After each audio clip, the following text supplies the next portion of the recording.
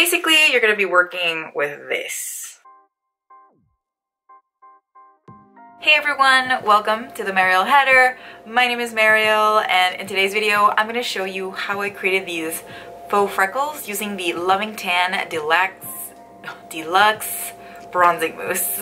I got it, I got it. The other day I noticed that a lot of my Instagram pictures where I'm wearing faux freckles get a lot of likes. I think people are just really into this faux freckle trend. I've been putting on faux freckles for a while now.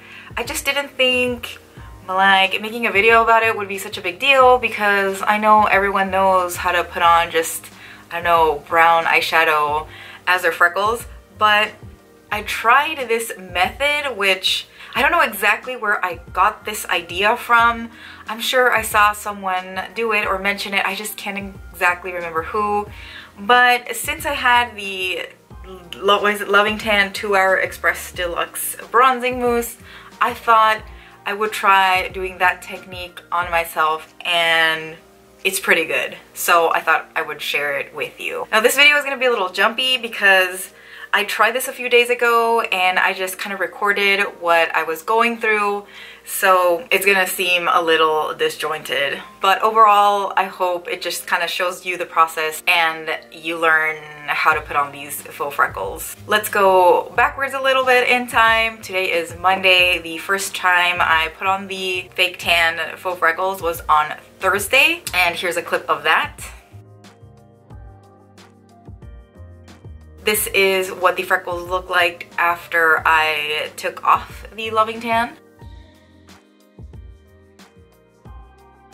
Next, you're gonna see a clip of me a few days after I put on the freckles. All right, so I've done a second pass of the uh, Loving Tan freckles and it looks way better. So I guess the first pass just kind of gives you a hint of freckles, but then you can reinforce it by just going over the freckles a second time. Next, you're gonna see a clip of today, which is Monday. I'm gonna show you how to actually put on the freckles, what you need, and the end result.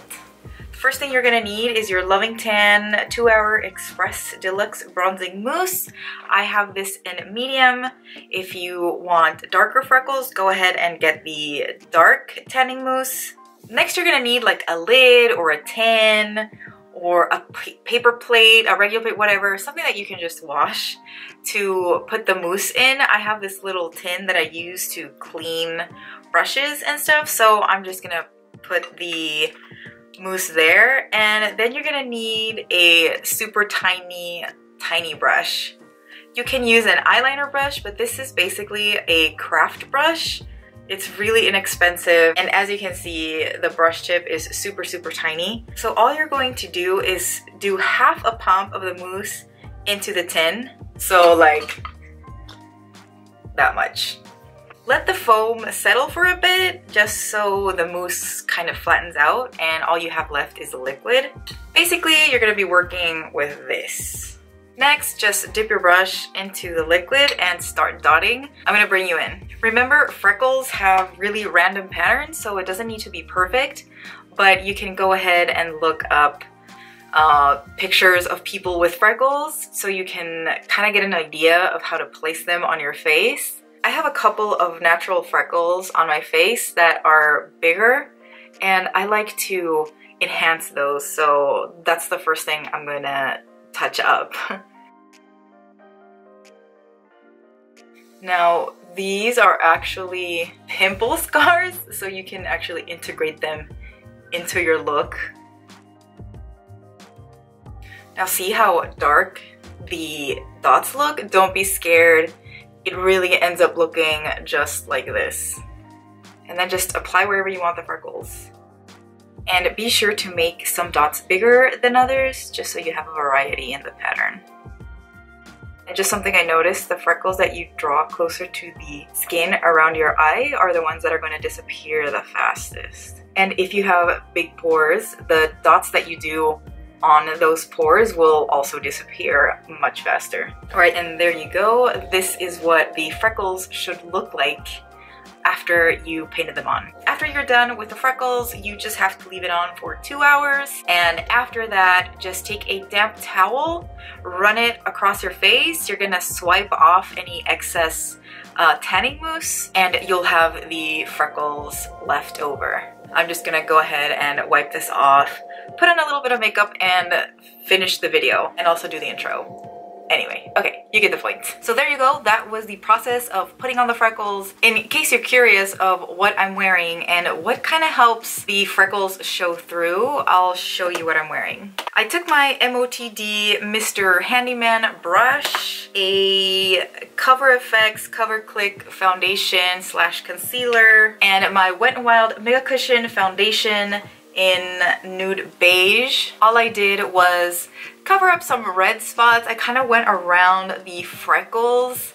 It was really cool using this combo because I barely touched like the perimeter of my face with the uh, Wet n Wild Mega Cushion Foundation and I took a little bit of the foundation with the brush around my nose and with the brush it kind of helped me get in between the freckles. I am loving this Mega Cushion foundation for summer. It is so light. I'm recommending it to everyone. You're pretty much wearing next to nothing. You're just evening out your skin tone. The sponge is pretty cool. And just to complement that, I use the concealer because right around my nose um, I have a lot of redness and the cushion helped but I needed a little bit more coverage so that's why I used the concealer. On my lips I took a little bit of the Pacifica Plushious Liquid Mineral Lipstick.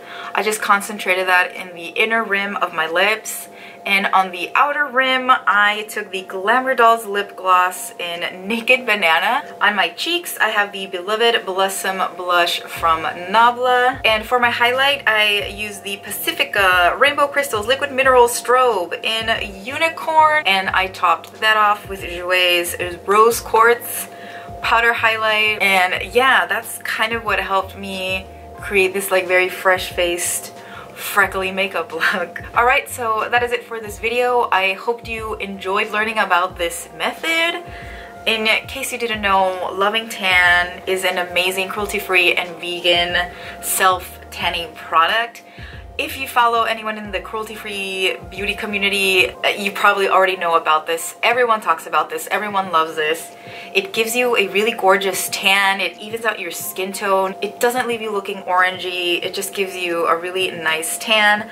I was kind of scared to go to the dark bronzer um, and I stuck to the medium for light to medium skin tones and it just gives me a lovely glow. I do not have an affiliate link or code, but all of these other cruelty-free vloggers do, so look them up. And yeah, okay, that is it. Don't forget to comment, like, subscribe, hit the notification bell, share this video with a friend. I would really appreciate it.